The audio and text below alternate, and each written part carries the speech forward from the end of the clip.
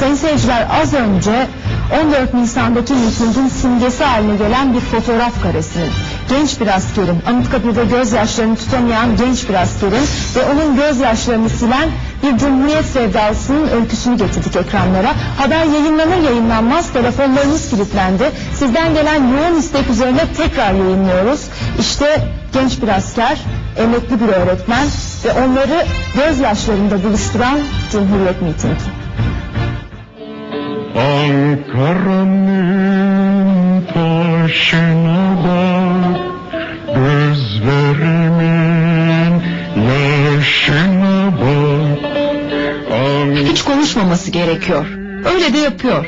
Ne konuşuyor ne kımıldıyor. Ama gördükleri yaşlısı genci çocuğu sabahın erken saatinden beri atanın huzurunda. Kimi çiçek bırakıyor, kimi ise bayrak. Aslında hepsi sevgisini, yüreğini bırakıyor atasına. İşine bak İşte bu sevgi, bu minnet, bu saygı genç askerin gözyaşlarını akıtıyor.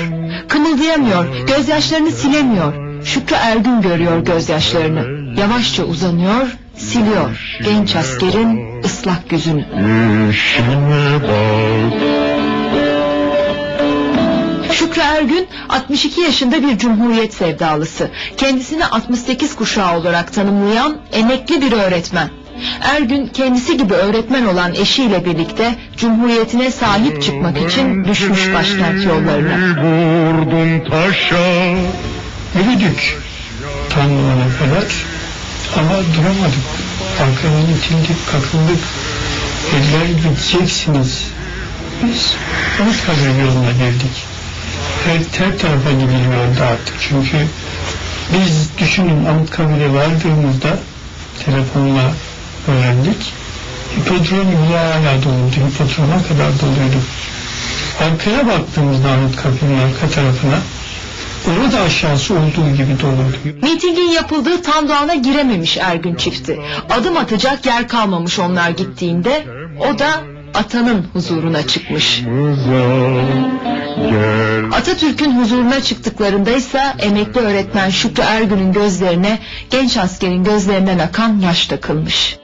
Bu ülkeye gönül verdik. Bu ülkenin asker olarak ve askere gönül verdik. Yanından geçerken zaten kalabalık el ele tutuşmuştuk. Önümdeydi eşi.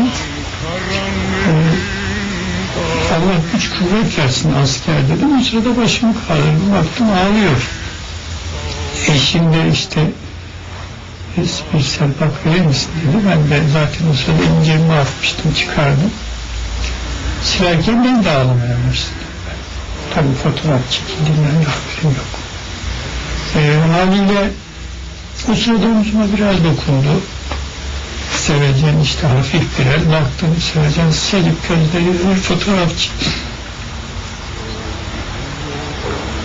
O da bizdendi, o da bir Mehmetçikti. Ve ben e, duramadık orada işte. O askerin Mehmetçiğin gözleri ise bambaşkaydı. Ah ne güzel, ne sıcak bir aydınlıktı. Tanrım burada bir tarih değil, tarihler saklıydı.